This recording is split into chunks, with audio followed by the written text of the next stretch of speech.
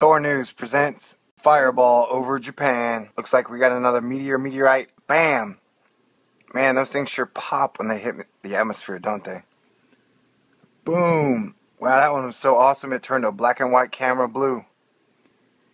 I mean, this is the same meteor fireball. Whoa! It's weird because it looks like there are two parts.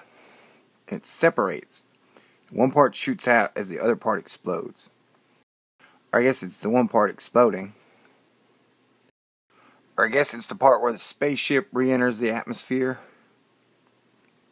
And the and the and the energy particles of life just go bam. Um no, I think what it is, it's the cold ice is when they reach the atmosphere. The cold ice is when they reach the atmosphere. It's such a hot temperature. They then explode like a firecracker or something like that. It's thermonuclear dynamics or something. I don't know. I'm no fireball expert. You should call the fireball expert. think he's related to Smokey the Bear. Bears are real smart about fiery stuff. Didn't you know that? Yeah, it's true. Man, I once met a bear. That guy was a jerk. That's not true. Every bear I met was nice. They were usually in the zoo. They were probably sedated. Yeah, what can I say? It's a fireball. Bang. So badass it turned turned black and white to blue. Trying to be funny on the spot here. It's not working. For that, I sincerely apologize. But I am slowing down the footage. Tried to adjust the color a little on some of them. Not the color, but like the, the gain and the latency. Not the latency. I know, I can't even think. It's after midnight. I mean, they had cameras five years ago, four years ago, three years ago, two years ago. So it does seem like there is a large uptick in meteors. You know? Pretty cool stuff, I guess. I want to see one. Fireballs are interesting.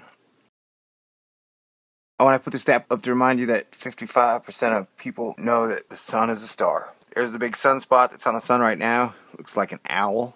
As you can see, the sun is kind of active. I don't remember seeing that white stuff. What, what the hell was that white stuff? I'm just taking a couple looks at our little sun. She's going a little crazy in this double peak minimal solar maximum. So I was thinking, like, what if the sun is like the egg comet or like seed? What do you think about that, huh? Yeah, if, if the sun is a giant bird and the planets are its wings and the universe is the great sky the bird flies through. That's beautiful. It's way more beautiful than the like giant dust cloud of dust collapsed. And then there was the sun and there was planets. Okay. I gotta get a new accent. I do. I'm going to work on my new accent now. I'm now leaving. Okay, cool. Yeah, uh, you know me, I always like to look where Sirius and Vesta are.